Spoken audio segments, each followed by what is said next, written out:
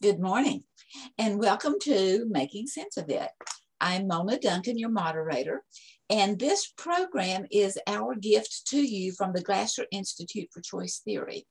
Each week, we have a certified member tell us about some of the concepts of Dr. Glasser and explain how that they work to make life run so much more smoothly. And our we have an ongoing monthly presentation from Professor Robert J. Martin, and he is here with us today. He is giving us a month by month chapter in his book of um, what is it, Connect and Lead? Connect and Involve. Connect and Involve. And uh, you're involved while you're leading. So uh, today's topic is on scoring guides to increase quality work. So thank you, all of you, for being here. And Robert, it's good to see you. So if you're ready, we'll let you take it away. Well, thank you very much. And it's a pleasure to be back.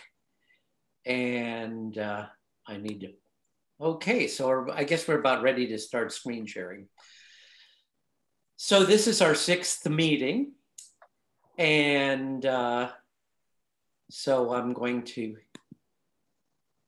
share. And while you're sharing, I'll tell others that they can go back. These uh, recordings are no charge. You just need to sign up as being a member. And you could go back and look for them. They'll have Robert's name on there on the dates that he has done the previous five. Okay, so so this is uh, from uh, based on chapter six um, in Connect and Involve, and it's about scoring guides and and increasing student achievement. So just to give you a little background. So this is our sixth presentation in this series, and there's a continuing emphasis on big ideas and key skills needed for students to achieve, and in particular to do well on high stakes testing, because I know that's something that teachers are always concerned about and their principals are concerned about and their superintendents are about. So I think the big point here is, is that if you use Glasser's ideas, it's not going to take you away from achievement. It's going to take you toward achievement. And, and that's the big, the big message here.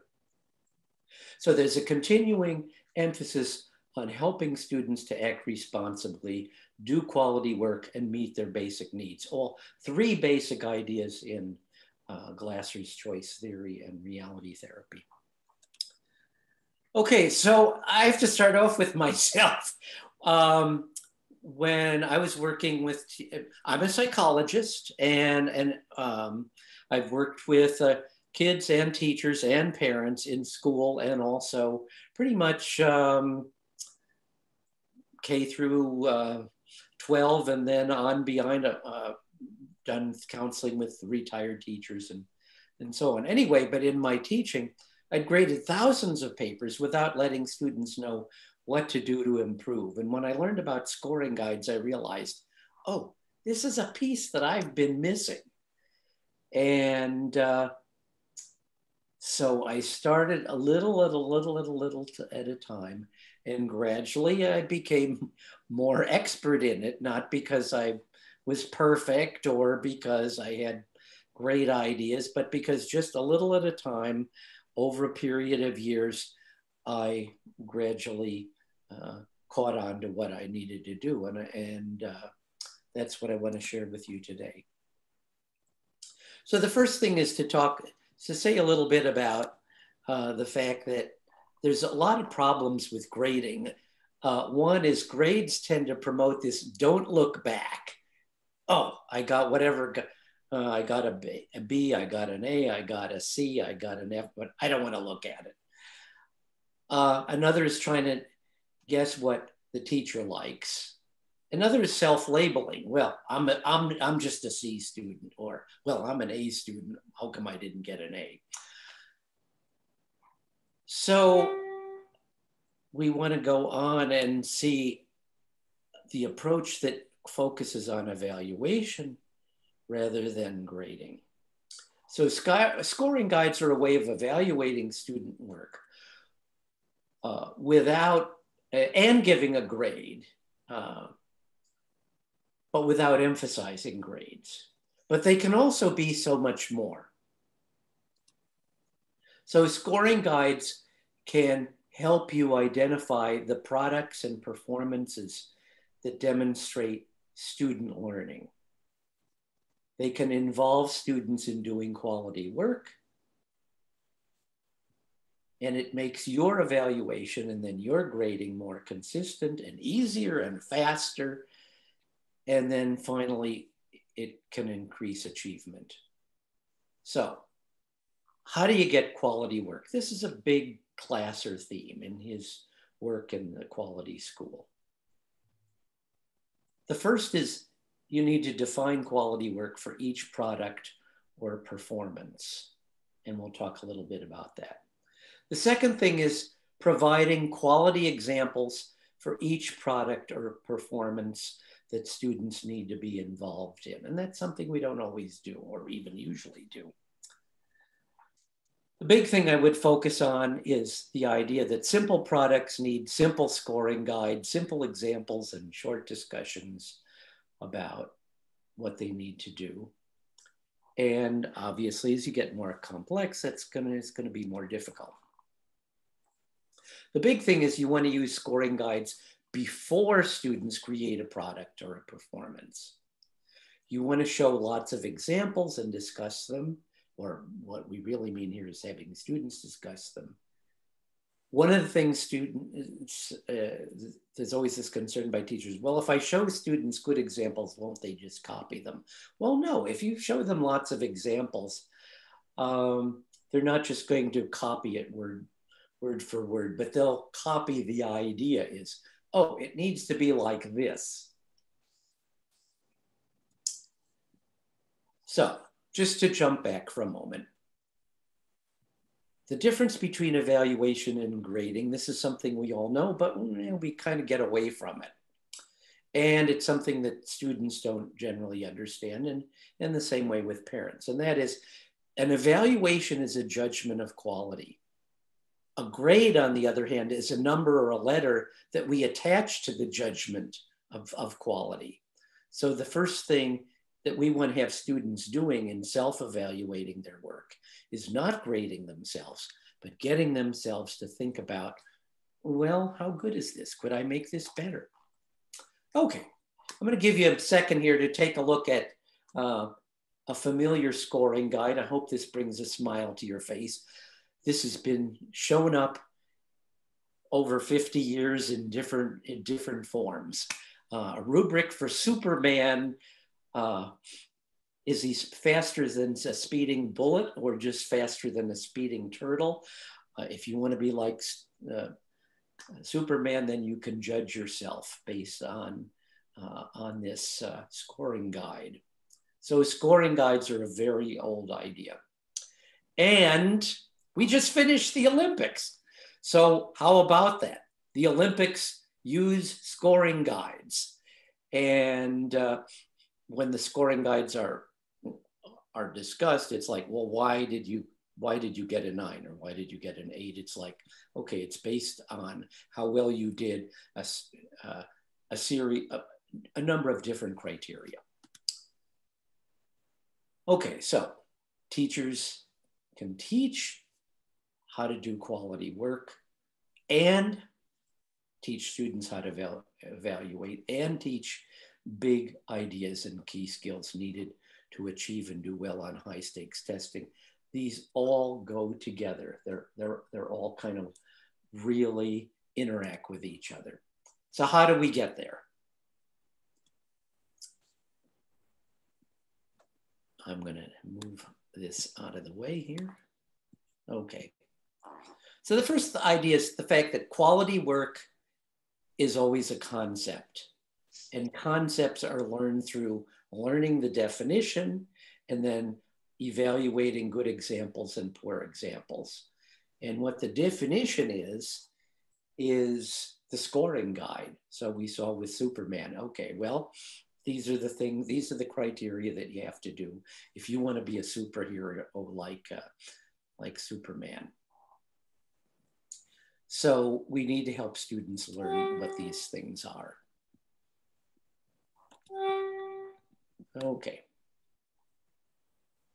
So what we want to do is to give students some good examples and have them use the scoring guide to score good examples and poor examples. Through doing that, they come to understand the scoring guide. And then they can also use the scoring guide to do quality work. A lot of teachers use scoring guides, but they don't always have the students use the scoring guides.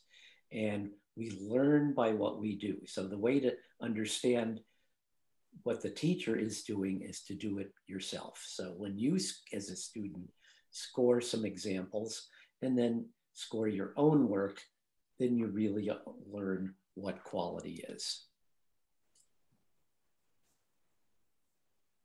So through scoring their own work and then revising it, that's the next thing. And this is a big thing Glasser's always focused on. You need to let students revise their work, especially if it's something where there are big ideas and key skills involved in the particular task. And you always want to give students tasks that involve them in big ideas and key skills that they're going to need to do well.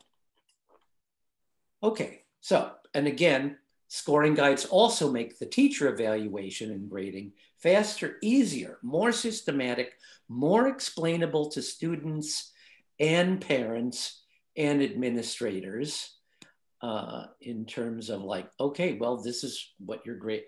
There are always students who, who are unhappy. There are always parents who are happy, and they come into the administrator. It's like, I don't think this was fair. It's like, how did you grade this? Well, then you have a way of explaining, okay, well, the, these are the criteria. Uh, this is this is how it's graded. Okay, so making a scoring guide. First thing to ask is, what is the product or the performance to be evaluated? Everything that we evaluate students on is either a performance of some sort or a product that we're looking at, they're turning in and so on. And then the second thing is what are the criteria for that particular product or performance? And sometimes that can be a little difficult to figure out.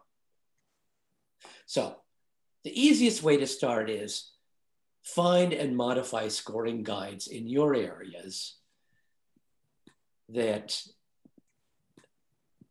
okay, this, uh, scoring, okay, this, this got a little bit messed up because I'm trying to move this stuff at the bottom around. Okay, fine.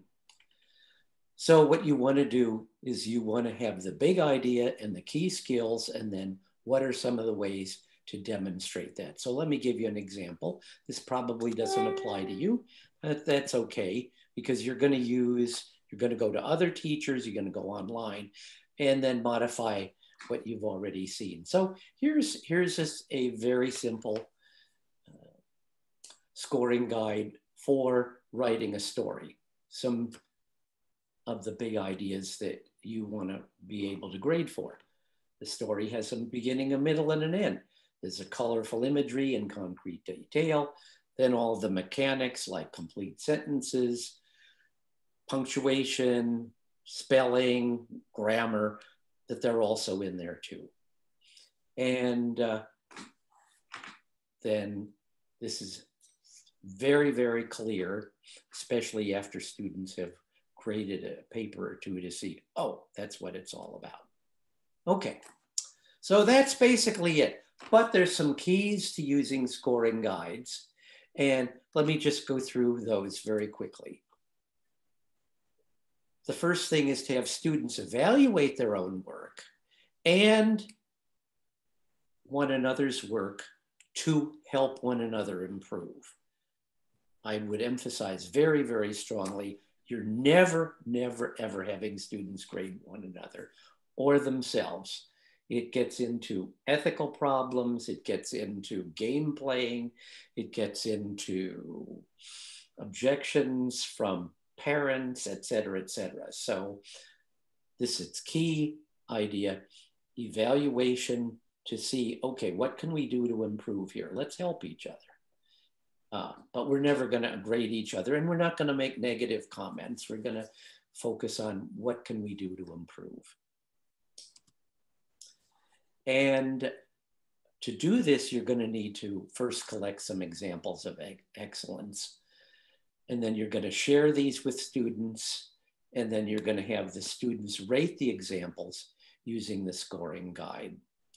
And uh, you can probably come up with uh, examples over a series of years.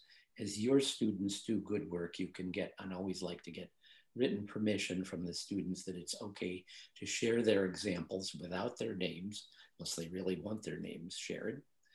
And so you begin to collect a library of excellent examples that students can use. Now, obviously, this is for, for more complex uh, products. You don't need to do this for, uh, for everything. Okay, so the idea here is you need to have students revise because revising lets students make improvements and the scoring guides let them know what they need to improve. So it's a circular kind of thing. Okay, to summarize here.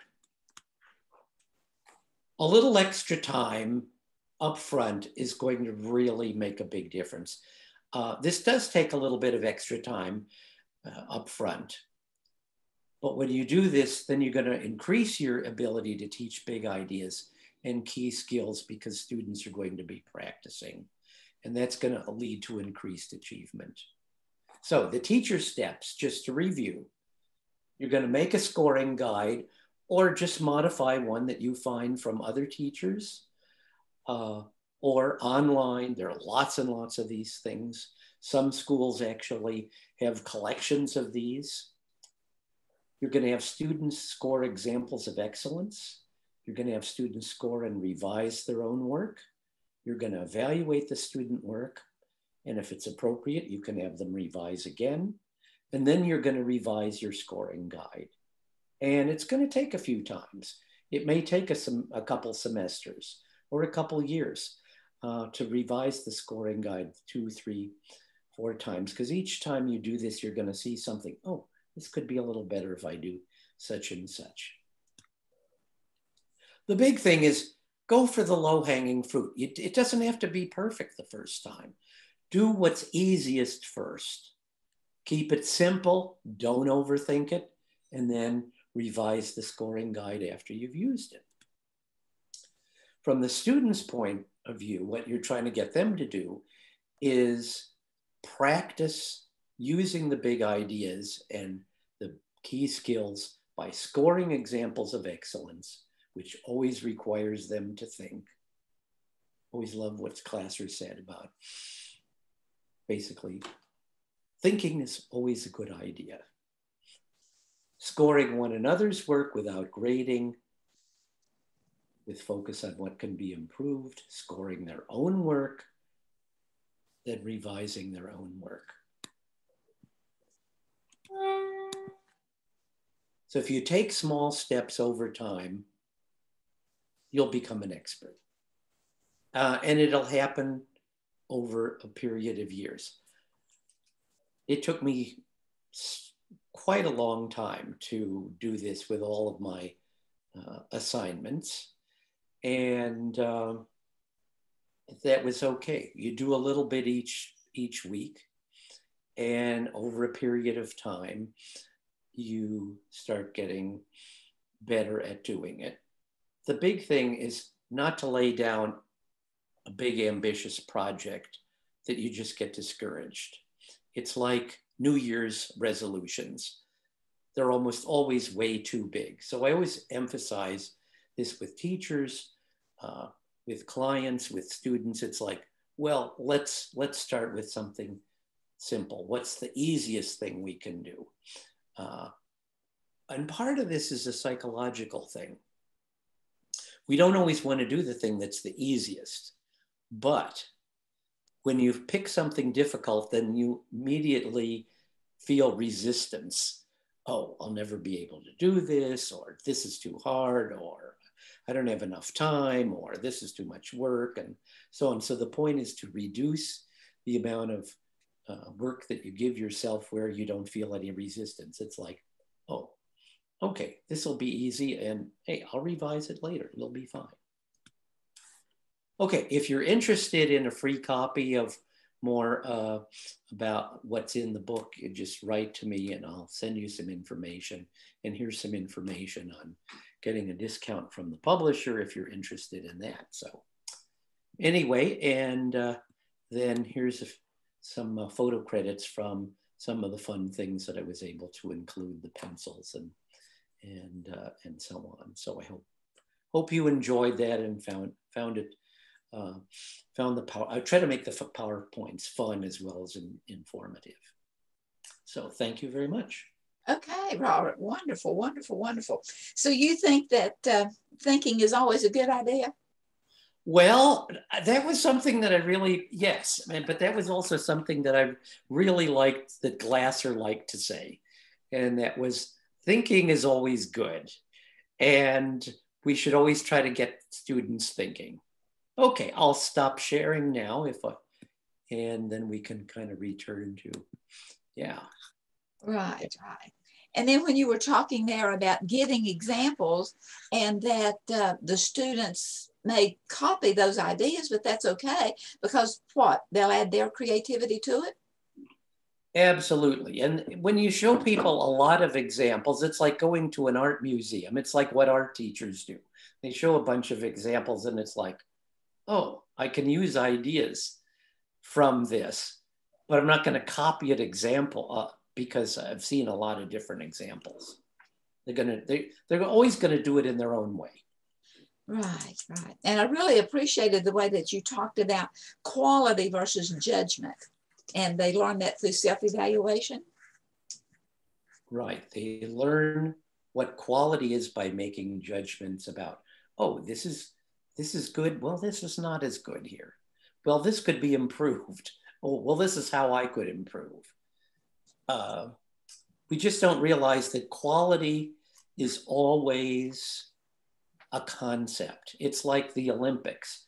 For every single event of the Olympics, there's a separate set of criteria. And one of the things I think that's great about the Olympics is that they try to teach you as you're watching. Well, what are the criteria? Why did why wasn't this particular performer as good as this other one? And so uh, you watch lots of examples and you learn. Oh, well, this is what quality is for this event. Right. And then that goes hand in hand with the scoring guide with uh, being faster than the speeding bullet or the car or the yes, yes, exactly, yes. And so, as you can see, I'm doing it, but I'm not at that at that quality yet. Right, exactly, yeah. So then you can judge in a non-judgmental way how to improve so that it will be quality. Exactly. So I would never give the a grade at the until the very end. Yeah. Right, right, right, right. Yeah.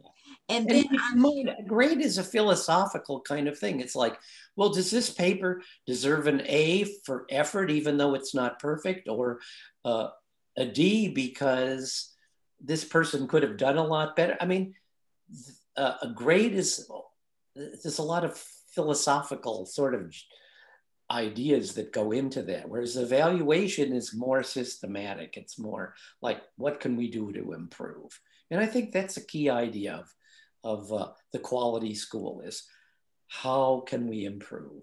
And by the way, these same yeah, supervisors use these same ideas uh, for uh, evaluating their employees, the, the people who work under them. So scoring guides, regardless of what they're called, are used all through business and industry as well as, as in schools.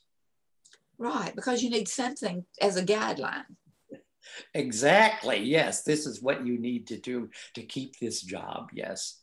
Yes. And I hear you giving students permission to do over.